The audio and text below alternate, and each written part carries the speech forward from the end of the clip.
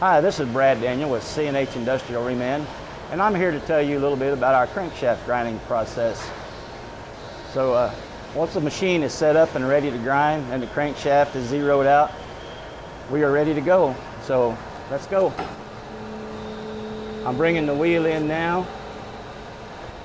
I'm gonna turn my coolant on, make sure that crankshaft does not get hot and grind smoothly. Turn it on. I'm gonna bring the wheel in.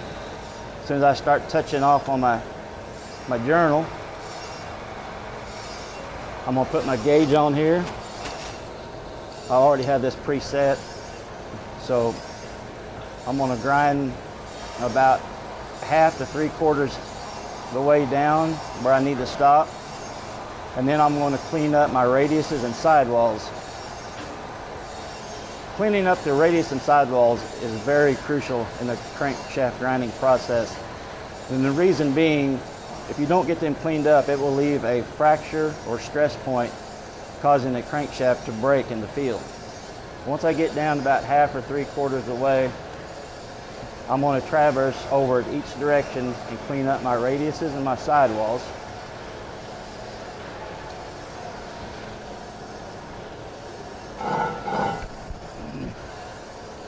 Once I do that the first time, I'll put the gauge back on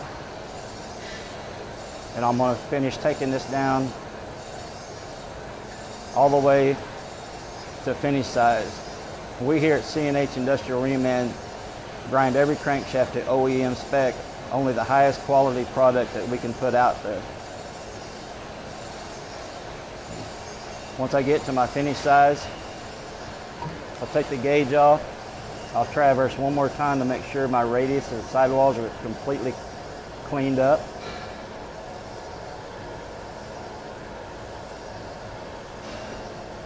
And after that, I'm done with this journal. So back it out. I'll take my splash guard, and my steady rest off. And what's, what sets us apart here at CNH Industrial Reman is our highly calibrated precision measuring tools. The first thing I'm going to show you is our radius gauge. It'll make sure that I got the proper radius on and a proper 100% cleanup. I check both sides with that. And the next thing we use is a go, no go plug gauge. Make sure when I'm cleaning up my radiuses and my sidewalls that I didn't get the journal too wide. So the go, so the go side should go in easily and the no go should not go in at all. I'm good there on that one. And what sets us apart really from your local mom and pop machine shops is our highly calibrated precision measuring tools. And a lot of places will use a micrometer or caliper and no two or three people can get the same reading.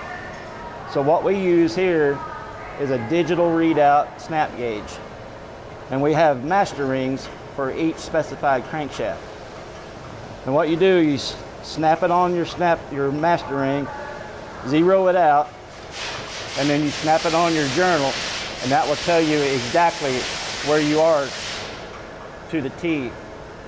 It takes all the guesswork out of it and makes it so much easier to grind and it's a high quality product when you do when you can do that. Once all that is done, the crankshaft is completely ground to OEM specs. It's ready to be taken out and sent to our Q-Pack micro wet polisher. Thank you.